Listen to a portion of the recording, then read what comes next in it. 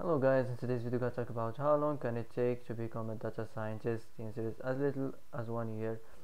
So that's for today. I hope this is the answer you've been looking for. If you like this video, don't forget to like and subscribe and see you in the next video.